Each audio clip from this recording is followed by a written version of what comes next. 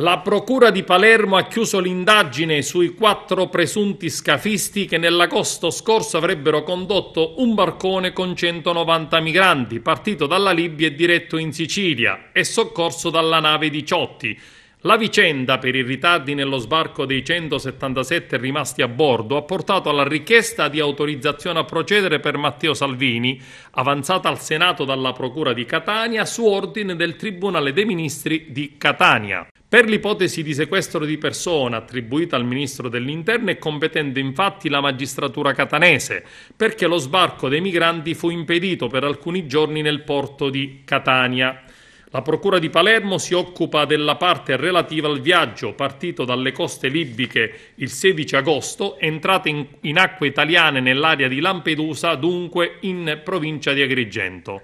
Gli indagati, tutti in carcere, sono gli egiziani Halmed Shalabi Farid, di 23 anni, Ashraf Abini Abrahim, di 39, Al Jazeera Mohamed Ezet, di 24 e Shahlom Mohammed, di 26 anni. I pubblici ministeri Geri Ferrara e Gaspare Spedale contestano l'associazione per delinquere finalizzata alla tratta degli esseri umani, alla violenza sessuale, al favoreggiamento dell'immigrazione clandestina, con una serie di aggravanti come aver fatto parte di un'organizzazione che teneva i migranti in campi di prigionia in Libia, dove venivano sottoposti ad ogni sorta di abusi e vessazione che li ha fatti partire su natanti fatiscenti dopo aver pagato ingenti somme di denaro. I quattro furono identificati grazie alle testimonianze delle persone tratte in salvo. Per la stessa ragione per cui l'indagine sugli scafisti era aperta dalla DDA di Palermo, come sulla competenza dei tribunali dei ministri, trasferita successivamente a Catania.